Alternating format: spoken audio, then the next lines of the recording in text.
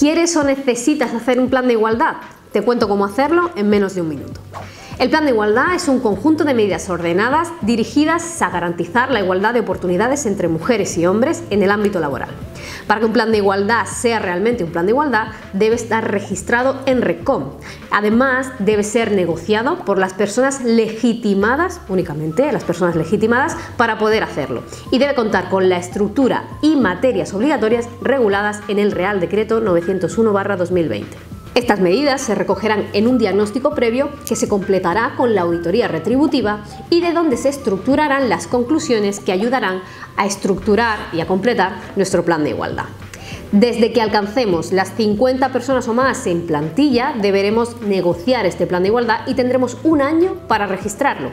Además, este plan nunca podrá tener una vigencia superior a cuatro años, por lo que antes de la finalización de esta vigencia tendremos que repetir todo este proceso. Y ahora ya sabes cómo hacer un plan de igualdad.